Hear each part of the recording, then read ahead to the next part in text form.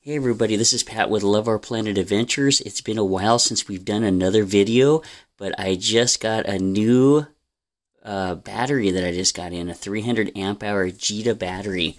I'm going to be replacing my other four batteries that are in parallel, the 100 amp hours, with the Jita 300 amp hour, and it is a 3840 watt hour. So it's going to give, like, for instance, you could have a heater running, a 1000 watt heater for almost four hours with this battery. It weighs about 60 pounds. It's really incredible. So I'm going to be unboxing this right now and showing you guys a little bit about this. Really cool. Gives you all the um, information about this battery in here. All the different ones they make up to 400 amp hours. This one's a 300 amp hour. It has the built-in heater. So I decided to go again with the built-in heater.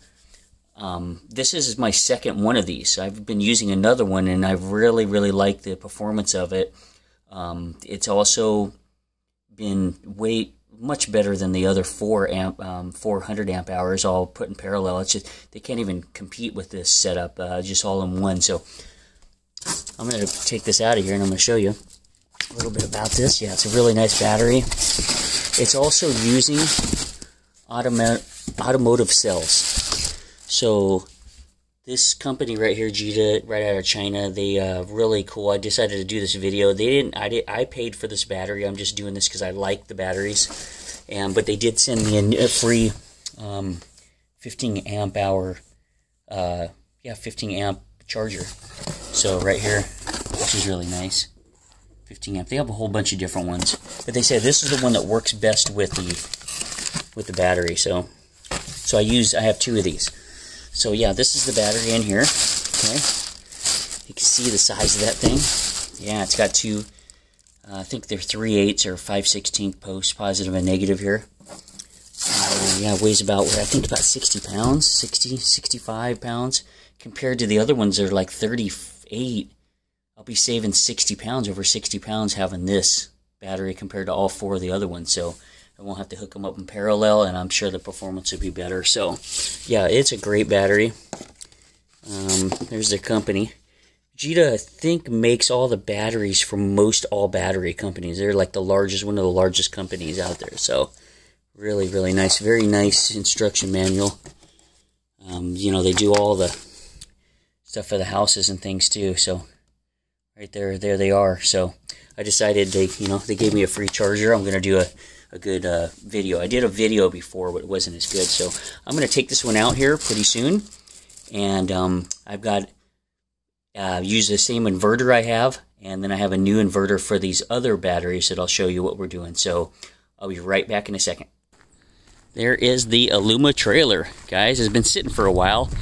That's why I haven't done any videos. We haven't been really out traveling right now. We've been kind of just saving everything up and getting ready to go. Um, last year about the same time we were in Cape Disappointment out on the Oregon coast and that was a great trip we had uh, rain sleet snow or hail sunshine all in one day so but here's what I'm doing okay so I'll pop over here and I'll show you guys I don't have any light in here so I'm probably not going to really do anything to show you but underneath here I've showed this once before is another battery and inverter down there. Okay, so that's in my little compartment. But over here, had the Mr. Buddy on to heat us up. There is the four batteries, okay? So those four batteries, I'm going to be taking each one of those out of there and then putting the new Jita battery in there. And I'll have to switch some of these wires around. I've got all the wires. See, these 400 amp hours was good, but it is, I swear to you, that 300 amp hour one is better because I think the cells are better. I think it's because you don't have to hook them all in parallel. There's a lot of things that go with it. This is going to be a lot better setup. It's going to fit in the box better. I'm not going to have these wires all over the place. I'll take these ones and I'll put these in the house. I'll make a solar generator so when the power goes out, I'll have that. So I'm going to start taking these ones out here, of here, and um, then start wiring in here and I'll show you guys when I get the, the new one in, okay? I'll be right back in a few. Okay, so there's one of them out of there. So you can see I have my space in here. They fit in there really well. We built this uh, this box out of birch. I used birch wood for the box. Can you believe that? But it worked out really well. And then I've got the uh, I got the inverter up there. So there's the space. Um, got wiring going through there, so it's really it's nice. The bot the new battery will fit right in there. These are good batteries. I mean, they worked great for a while, but you know, I had two, and then I had three, and then four. They're Mission Battery Company. No disrespect to these guys. I mean, the guy that runs this company is a really good customer service. We had a great chat about batteries and all that. But you know, I think that they're just you know the technology is changing so fast that they're uh, they're getting they're getting real good. You know, the the uh, Jita battery. I think the cells, those automotive cells, are really top notch. So that's what's going on. So I'll be right back. I'm going to get this uh, new battery in here and get these guys out of here. Okay. Okay. Now I have the Jita battery in here, 12.8 uh, volt, 300 amp hour with the heating. So it says heating in there.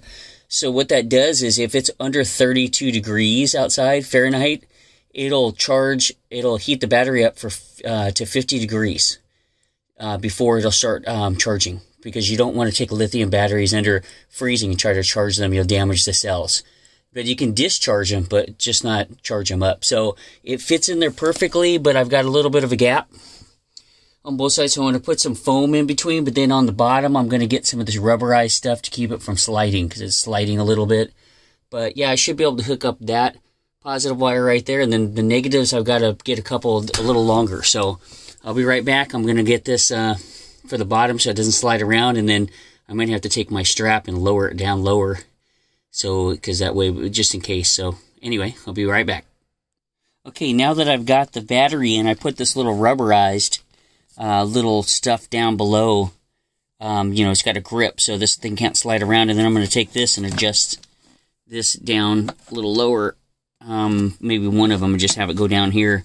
So that way, just a precautionary, just in case it doesn't slip um, out of there. But yeah, um, this battery, um, that's why I got another one of them because the other one is working so well. I could use the induction oven six, seven times and the uh, water kettle before I had lost any power. And I think the main reason is, is I got one hookup and it's all BMS battery management systems all hooked together in one unit and it doesn't have any um, draw off having to go through these parallel wires and all this kind of stuff. There's a lot of resistance. So this way you don't have that. Um, so it's going to be, it fit in there perfectly too. I mean, this thing is, I mean, I didn't even build it for this box. I didn't build this battery or this box for this battery and either the other one either, and they both fit on there. So I think they're kind of meant to be in here. So what I'm going to do here is this is a positive, and this is going to just hook up here in the positive here. There, one of the, the negative will work over there on the negative side, but one of the negatives is too short, so I'm probably just going to take this positive and then wrap it with um, black tape, so that way I know, because this is a really good wire, and um, pop that over there. So nice, nice thing about it is only got a couple of its connections. I got uh, what one positive, and the battery, um, yeah, pretty much just one positive and then one uh, two negatives, and that should be it. Then I'll have to take this battery charger out. My uh, what do you call it? Your uh, Victron, Victron Energy. I'll have to take that out of here. That's a 25 amp, but I'm not going to use it because I don't want to use the wrong. I mean, it probably will work fine, but I want to use the one that came with the battery because that's what they said to use it. It seems to work really well. It has a fan in there. Um, this one would be good as a backup for the other batteries, and then I got the charge controller up there, so I can use that, you know, when I'm doing solar and all that. So, uh, but yeah, I'll take it out of here. I'll probably lift this up a little bit because this one's waterproof. That's what I do like about this one. It is waterproof. The other one, I don't know if it is, so I'm going to probably raise it up um, and do that. So I'll be back in a minute. I'm going to get this thing hooked up, and then I'm going to check the power. And then they're saying that you need to discharge it fully, a deep discharge, and then go ahead and uh, charge it up to get it to reset itself. So I'll be doing that. So I'll be back soon. So I got the battery in, and it's been a few, about probably 45 minutes till I got back to this video. I'm gonna mount the solar, uh, the battery charger right here I don't know if I'm to use those or not, but then I can just plug it in. It's uh, it's got the rabbit ears on there. Let's see if I can grab it. There it is, rabbit ears. It's got the, it's got those guys right there. But one of them was broke, so I've got to get another one sent to me. And I'm trying to figure out how to fix it, but it's uh, it's gonna it's gonna go right there. I'm gonna mount it right up, right up there. Pop it in like that. And uh, it'll actually be turned around this way. Turned around that way. And uh, put the battery cables right there. Plug them in. So that's what that's to happen there with that. And uh, what I had to do is I had to reroute some stuff um, right around here. So that'll be uh, reroute a few of these cables, positive, with the breaker going down into the positive there. And then I've got a negative off the bus bar and then also a negative off this bus bar. I got two of them running. I got one for down he up here, um, one over here that I can use uh, for doing a bunch of different checking checking stuff out, so I don't have to look over here all the time. So I'm running this guy right here. That'll go to the negative, and then I've got this one right here running off this bus bar. Uh, he's running off solar, so some of it's solar and some of it's the regular battery. And then I've got the temperature, temperature right there.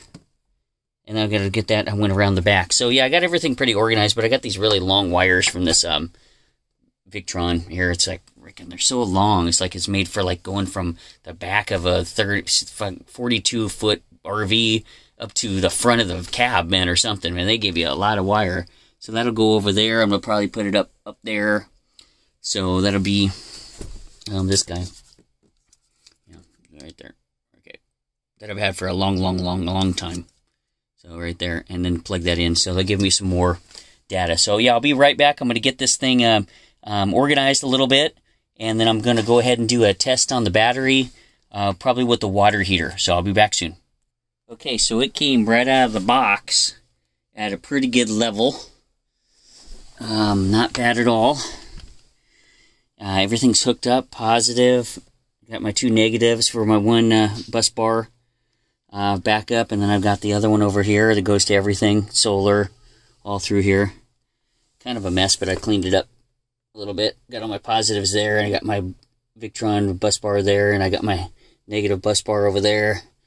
And then there's the inverter. There's the wire for the uh, for the other uh, battery monitor. Okay. And yeah, I just got it hooked up, and let's see what we got going on over here. We have we have 96 right out of the box. I don't know if you guys can see that or not, but whoa, that's not easy to be able to see. Let's see. You guys, you guys can't see that, but it's 96.31. Wow, that thing's really bright. Not the camera's on. Okay. But yeah, it's a, it's running 96 point, uh, 96%, 13.1 out of the box, 13.18 volts. Uh, what energy am I using right now? Nothing. So that's going to be really good, guys. That's a great battery. Jita is the company, uh, heating battery. Um, I'm going to put the charger right there as soon as I get that thing fixed. It came out of the box and it's like got a spring and I'm going to see if I can figure it out. But I've got another charger exactly like it. So, but this one's going to get mounted there. I can just rabbit ear it right over there. And um, yeah, so so far so good. Um, I'm going to do another test before I'm done here. I want to put the heater, the water heater on, which runs a lot of power. And I want to see if what that will do because I need to drain this. So let's let's check this out, and I'll tell you exactly what's going on. Just a minute. Okay, so I'm gonna I'm going to go ahead and I got my gauges all hooked up over here. I got one there and I got one here and I just unplugged from shore power and I'm at 1318 and I got, uh, I'm not going to do the water heater. What I'm going to do is I've got this 150 or 100 watt bulb here, reptile light heater. And then I've got this guy right here. So I'm going to go ahead and it's about 200, 200 watt heater. And I'm going to go ahead and turn the turn it back, turn the inverter on right here. The switch. And, uh, uh, hold on. Yep, I'm gonna have to turn on some, yeah, forgot to turn on this guy over here. Very good. Okay. Oh, there we go.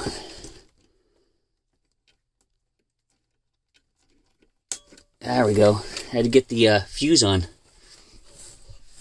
Okay, can't do that without the fuse. Okay, so now we should be set. Ooh, there we go. Okay. So we just dropped down, yeah. I'm running uh, 18 amps, 235 watts. Wow, that's uh, pretty good. But I really want to, I really want to do a test real quick because that's only running about 200 watts, 100, 300 watts. Yeah, so we're running 228. So what I'm going to do is pause this real quick. I'm going to try this water heater and see how the water heater literally can handle this. Okay, could you guys see that okay? Can't really see that bottom one, but there it is. Yep, running about, uh, yeah, back and forth, a little bit of different power. So I'm going to turn this heater off and back of me, right here, that one, and turn the water heater on. So I'll be right back, do a test on that, see how this battery's doing. So far, I love these automotive cell Jitas because they got a lot of power. I mean, that other four set that I showed you earlier, can't even compare. That's 400 amp hour. So the circuitry in this and the BMS and all that battery management system seems to be real optimal. So, but I'll be right back in a second. Okay, here's going to be the ultimate test. I'm going to uh, turn on my water heater that's going to run about 800 watts. So this is going to be the ultimate test. Plus, I still have that that light over here, the reptile light. That light on, that's about 100 watts. So let's just see what happens here, man. I mean, this this should be this is pretty exciting because I mean the other battery can't even compare. So let's just see what we got going on here. Okay, so I'm going to turn this on right now. There we go.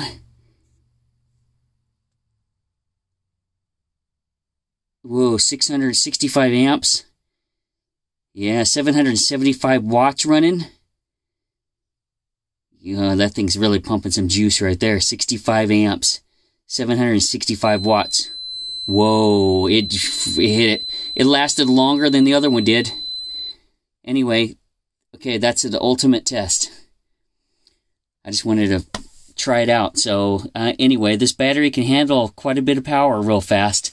I think the circuitry in the the inverter, I'm to have to check everything to make sure it's all at the right voltage and everything like that. So, but uh, let me go ahead and turn this off and uh, I'll be right back. By the way, when it um, turned back off the inverter, it went back to 1306, 13 volts. So this thing bounces back really well. I think it just couldn't handle the, the overall power of everything. The inverter is good for 1500 watts. But I mean, the circuitry in these for overpower, it's probably just uh, turned it off. So I'm going to try one more thing. So I'll be right back. I turned the light off so, you know, so I turned the light off right there and just see what happens when I just turn it back on. Okay, so there we go. We're back down. We're 335, 64 amps. Wow, that thing just, yeah, 778 watts. You think that it would be able to handle this power? 800 watts, but it just gets down on the voltage and you're just going to hit it down. Yeah. It could be the inverter. So I'll have to check this out and find out. So anyway, it's running uh, some good power. Probably charge the battery up to a full extent. It's down to 90, 13 volts. So it was 13, 18. So, um, okay, so there we go. So, overall, this thing handles uh, the 200, 300 watts consistency really well. Um, the water heater, um, it's you know we think it would be able to handle it, but that startup juice it has not been turned on for months, so it probably took it's taken a lot of watts to do it. There's what we got going on with the heater. And that's handling it just fine. The heater's back on over there behind me. I'm running about 10 amps. Voltage is 1286. So I'm just trying to do a deep discharge on this. It's, they said that Jita batteries need to do a deep uh, discharge and then uh, charge it back up to recycle it back. So I'm going to have this thing do that right now. And um, I'm going to finish up putting the battery charger, which will be like this. Battery charger will be sitting up there like that. Like there. And then these guys will go plugged in over there. And I'm just going to have it there and it'll just plug in down here. So, but overall, it's a really good test. Um, I love the other battery. Uh, I wanted to give a shout out to Jita for um, they were they have right now at Amazon hundred dollars off on these. So I mean, not even with any code. I don't have a code or anything like that. But um, you know you can get that, and you're right at a thousand bucks, uh, 300 amp hour. Um, they like I said, ask for the free charger. Um, last one I got didn't have the rabbit ear brake, but it's just a spring in here. I probably can figure it out. So, but anyway, it's a great, great setup, and I'm happy. I've I've shedded uh, 60 pounds by having this battery, and um, I think it's going to be do a great job. So anyway, Pat, love our planet. We'll see you guys next time here, and uh, please share, subscribe, and like, and we'll see you on our next adventure. Take care now.